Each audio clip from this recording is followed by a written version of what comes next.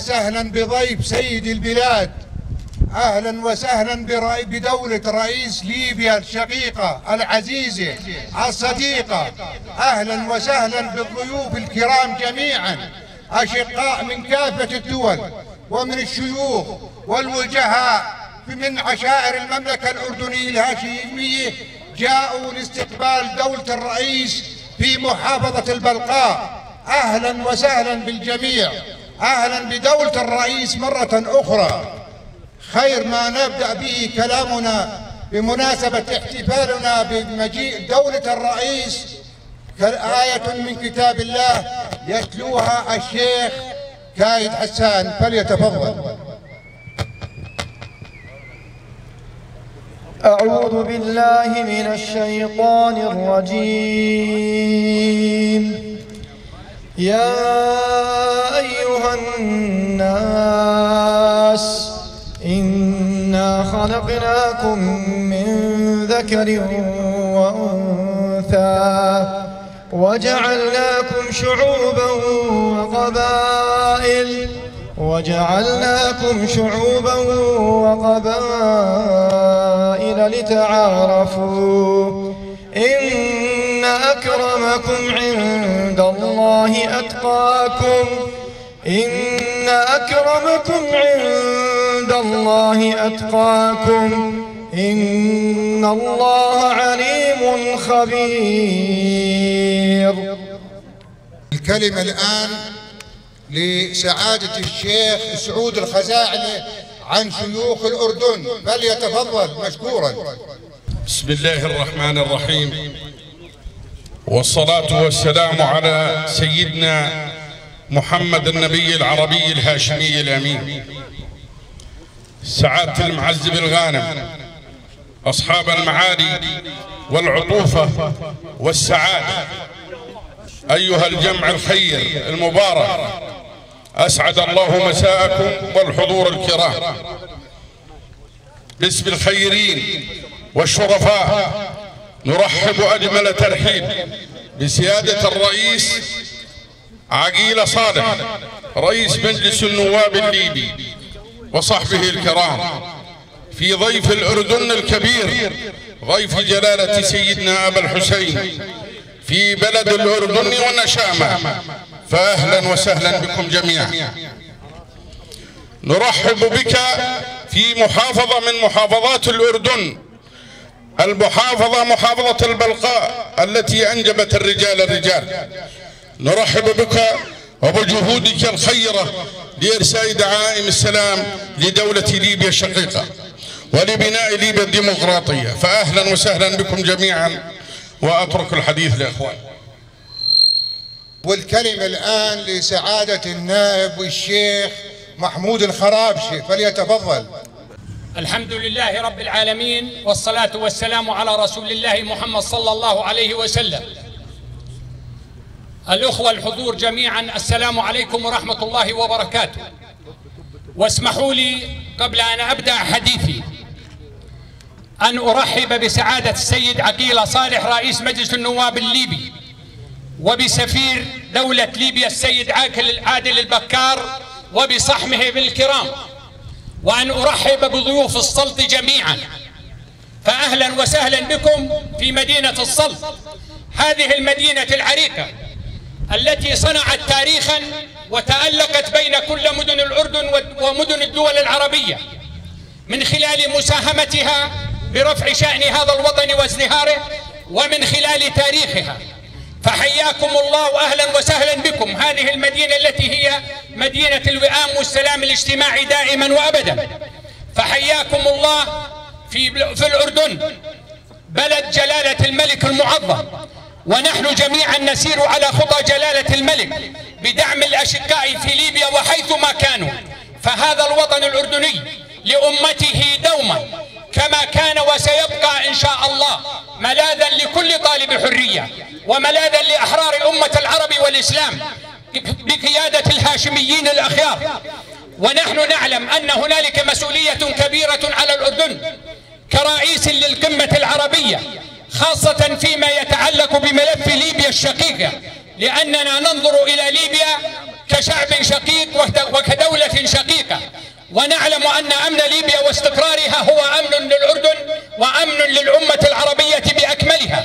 وإننا في الأردن نتابع كافة التطورات على الساحة الليبية. ونعمل من الأخوان الليبيين بقيادة جميع أبنائها الأخيار وقادتها أن تتجاوز كل المحن وأن تكون وحدة ليبيا أرضا وشعبا ومحاربة الإرهاب واستتباب الأمن والاستقرار هي العناوين الأساسية والرئيسية التي يسعى الجميع إلى تحقيقها لأن ليبيا كما كانت ترتبط مع الأردن ومع كل الدول العربية الشقيقة بعلاقات مميزة فنريدها أن تبقى كما كانت على الدوام ونريد أن يكون للحلول السلمية والحوار الأساس الفاعل والمؤثر في إنهاء كافة الاختلافات بعيدا عن القوة وبعيدا عن العنف. لأن العنف والإرهاب قد أرهق الشعب الليبي كما أرهقنا جميعا. ونحن هنا في الأردن خاصة أننا نعيش في منطقة ملتهبة في ظل ما يجري على حدودنا الشمالية في سوريا الشقيقة وفي ظل ما يجري أيضا على حدودنا الشرقية مع العراق الشقيق.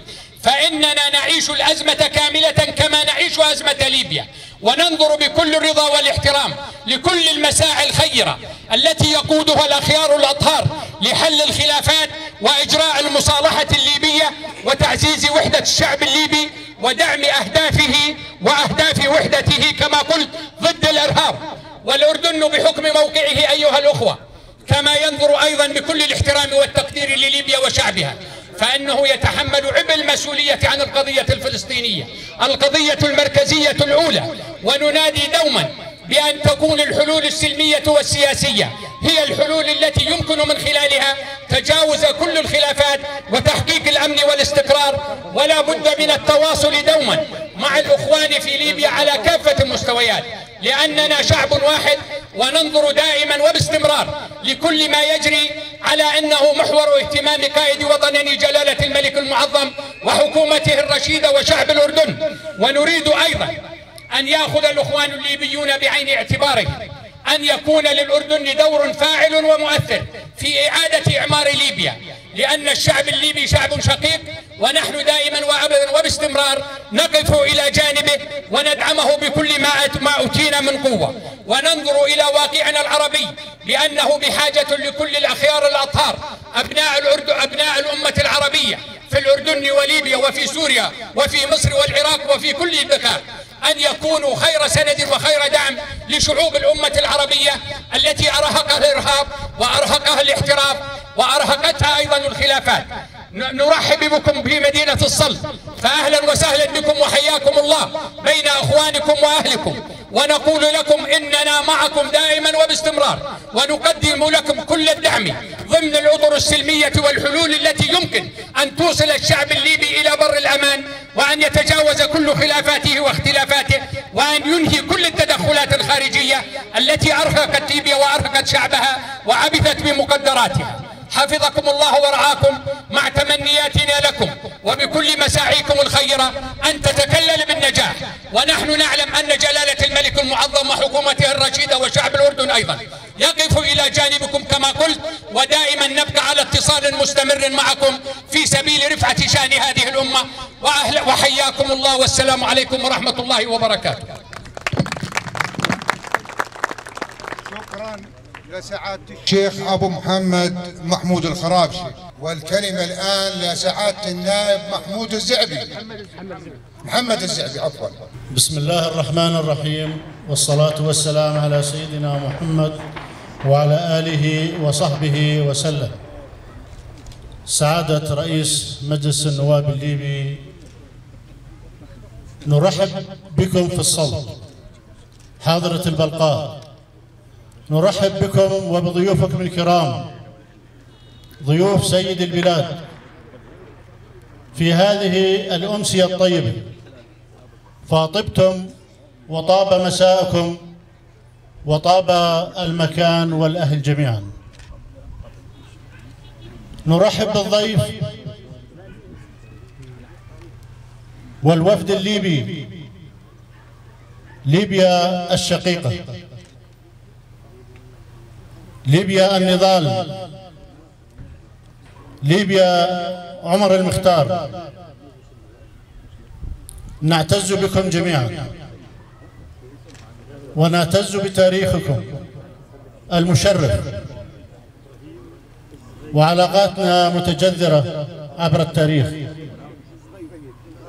فأنتم بين أهليكم ونعتز ببطولات الشعب الليبي. البطولات التي ندرسها في تاريخنا.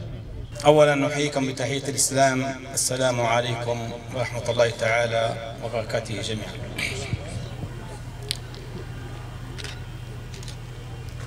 بتكليف من السيد فخامة رئيس مجلس النواب المستشار عقيل صالح. أقف أمامكم وبينكم إخوة أعزاء احتضنتونا وشعرنا بأننا فعلا وحقيقة بين أهلنا وذوينا. ومن خلال تواجدنا هنا في بلدنا الثاني المملكة الأردنية الهاشمية ومن خلال الزيارات التي قام بها وفدنا لجلالة الملك ملك المملكة الأردنية الهاشمية الذي استقبل سيد فخامة الرئيس استقبال الإخوة واستقبال المجاهدين المناضلين سواء في الوطن الشقيق أو في ليبيا. كذلك أيها السادة الأفاضل في جميع مسمياتكم واسمحوا لي ربما بعض الصفات لا تحضرني الآن ولكن الوجوه الطيبة نخاطبها الآن. خلال زيارة الوفد لحكومة المملكة الأردنية الهاشمية ومجلس النواب ومجلس أعلى الأعيان. ومن خلال اجتماعاتنا معهم شعرنا فعلا بأننا نحن جسم واحد وفي خندق واحد ورحبوا بنا وأبدوا استعدادهم لتقديم كل متطلبات الشعب الليبي والوقوف معه في الأزمة التي يتعرض لها الآن هذه الأزمة المصطنعة التي صنعها الغرب لكي يحاول أن يهامن أن يهيمن على بلدكم الثاني وهو ليبيا. وجدنا هنا أثناء تواجدنا في الأردن الشقيق كل الدعم على جميع المستويات سواء في السابق ولا ننسى ماذا قدم الشعب الأردني ملكا وحكومة وشعبا للشعب الليبي أثناء الأزمة واستقباله للنازحين وأيضا علاجه للمرضى ومبطي الأطراف وأيضا تدريب القوات المسلحة وقوات الأمن ولا ننسى ماذا قدم وهذا فعلا من دل شيء يدل فعلا على تضامن المملكة الأردنية الهاشمية مع الشعب الليبي. لا شك إن شعب وملك وحكومة قدم الكثير لدول الجوار وتحديدا دولة فلسطين وما تعانيه المشاكل ووقف بقوة ضد ما حدث في المسجد الأقصى ونحن في ليبيا حكومة وشعبا ومجلس النواب نثمن هذه الجهود ونقف معهم وندعمهم أيضا. المملكة الأردنية الهاشمية من خلال اجتماعاتنا لديها ديون لدى ليبيا وتعرضنا لهذا الموضوع وتقدم السيد فخامة رئيس مجلس النواب بمحاولة حل هذه المشاكل والديون وأيضا سيادة سفير ليبيا في الأردن أيضا يقدم كل الخدمات للليبيين المقيمين هنا والأردنيين. وكذلك دعم السيد فخامة رئيس مجلس النواب في اللقاءات أن سيكون هناك إعمار في ليبيا وستساهم الشركات الأردنية والفنيين المتخصصين في هذا العمل بإذن الله. مرة ثانية أيها السادة نطمنكم من هذه المدينة العريقة التي تحدث عليها الزملاء قبلي نطمنكم نحن في ليبيا معكم قلبا وقالبا وكل ما تطلبوه من ليبيا ستقدمه لكم وكل ما تطلبوه نحن واثقين بأننا فعلا ستنفذونه تحياتي لكم ونتمنى لكم التوفيق. والسلام عليكم ورحمة الله. ونشكركم على حسن استقبال وكرم ضيافتكم. سقطت أوراقه وأصبح خريفا تذروه الرياح. تعرضت ليبيا كما تعرضت بقية المدن أو والشعوب والدول العربية الآن في المشرق العربي كله. الأردن الدولة الوحيدة التي نجا بفضل وحكمة أهله وحكومته وعائلته الكريمة الهاشمية. الأردن قادر على لعب دور كريم ودور قوي ودور فاعل لأننا نعرف قوة الأردن الناعمة التي يملكها جلالة الملك ويملكها مجلسيه النواب والأعيان وشعبه الكريم. هذه الزيارة الكريمة التي شرفتونا بها واستقبلتونا استقبال الأخوة والأهل والعشيرة أثرت فينا تأثيرا كبيرا جدا. وشعرنا بالأواسط التي لا تفصلها الجغرافيا ولا تفصلها المسافات. هذه هذه أواصر أخوة ورحم ودم لنا في هذا البلد الكريم. إننا الآن نطمئنكم بأن قبائل ليبيا تصدت لهذه المؤامرة الدولية. تصدت قبائل ليبيا للإرهاب وقاهرته وتصدت ليبيا للدسائس والمؤامرات التي شارك فيها الكثيرون. ومد يده إليها وإلى ليبيا لخلق فوضى خلاقة في ليبيا. ليبيا قد تعدت هذه المرحلة وقامت وتصدت لهذا الموج لهذه الموجة العارمة من التآمر والدسائس والمؤامرات.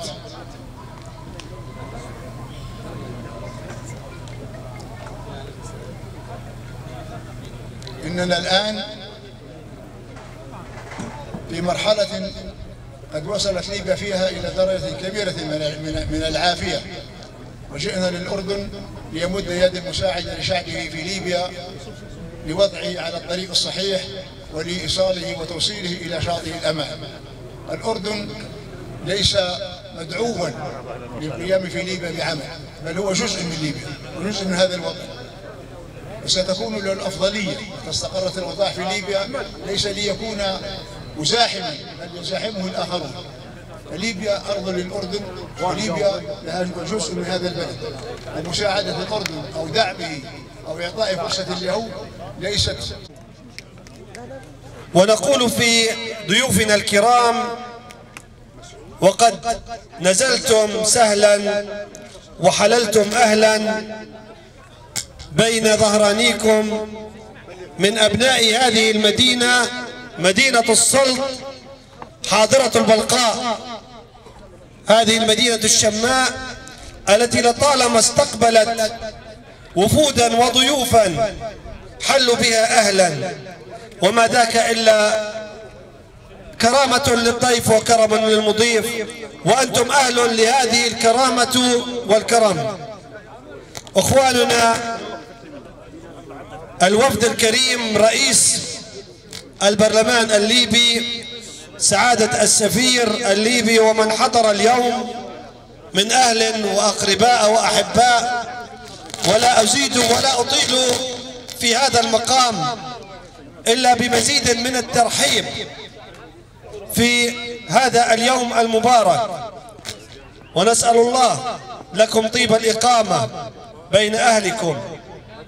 ونسأل الله أن يعم الأمن والأمان. ليبيا.